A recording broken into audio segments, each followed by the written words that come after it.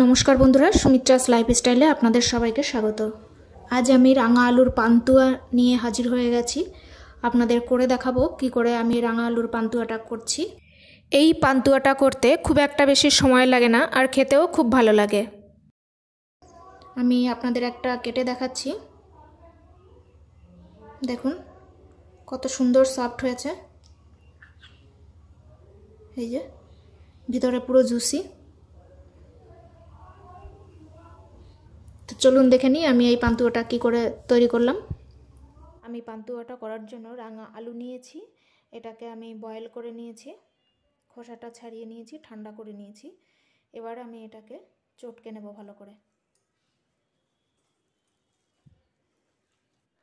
এই রাঙা আলুটা যখন বয়েল করবেন বয়েল হওয়ার সঙ্গে সঙ্গে এটাকে জলের থেকে তুলে নিতে হবে, না হলে এটাতে প্রচুর পরিমাণে জল টানে আলুটাকে খুব ভালো করে মাখতে হবে চটকে চটকে। আর লক্ষ্য রাখবেন, এটার মধ্যে যেন কোনো দলা না থাকে। এই আলুটা আপনারা গ্রেট করেও নিতে পারেন। রাঙা আলুটা মাখা হয়ে গেছে। এবার আমি এর মধ্যে দিয়ে দিচ্ছি ময়দা। একটু বেকিং পাউডার, বেকিং সোডা। আমি অল্প অল্প করে দিয়ে দিয়েছি। আবার এটাকে খুব ভালো করে মেখে নেব।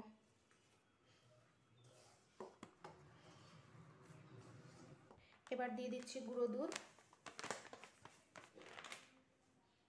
আবারও ভালো করে মেখে নেব। এবার দিয়ে দিচ্ছি অল্প পরিমাণে সুজি।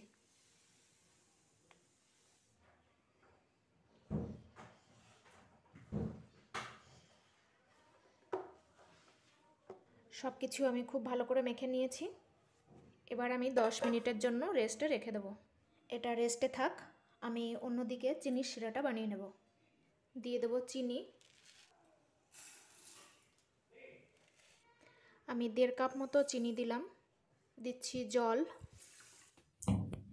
আমি দেড় কাপ চিনির জন্য তিন কাপ জল দিলাম। এবার আমি এটাকে ভালো করে ফুটিয়ে নেব। দিচ্ছি এলাচ, ছোট এলাচ। আমি এটাকে একটু ফাটিয়ে দিয়েছি। ফাটিয়ে দিলে গন্ধটা খুব ভালো বেরোয় আর কি।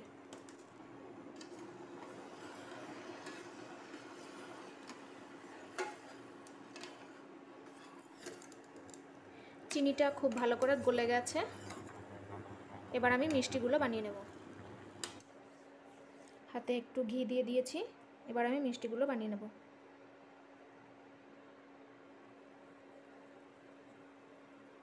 আমি এটুকু সাইজ করে মিষ্টিগুলো বানাবো। আপনারা আপনাদের মতো করে করবেন। মিষ্টিগুলো করা হয়ে গেছে, এবার আমি এগুলোকে ফ্রাই করে নেব। কড়াইতে দিয়ে দিচ্ছি সাদা তেল। দিয়ে দিচ্ছি মিষ্টিগুলো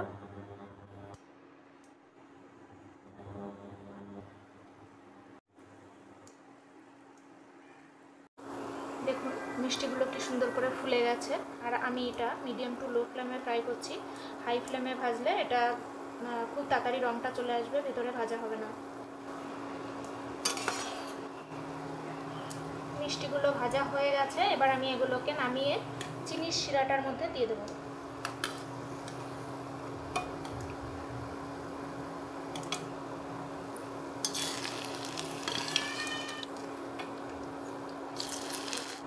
বাকি মিষ্টিগুলো ভেজে নেব?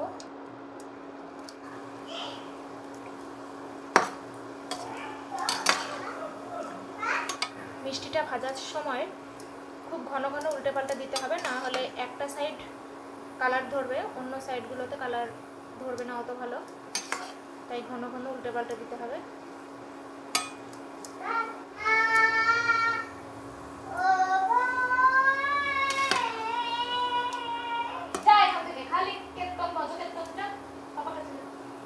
এই মিষ্টিগুলো ফ্রাই করা হয়ে গেছে, এবার আমি এগুলোকে তুলে নেব।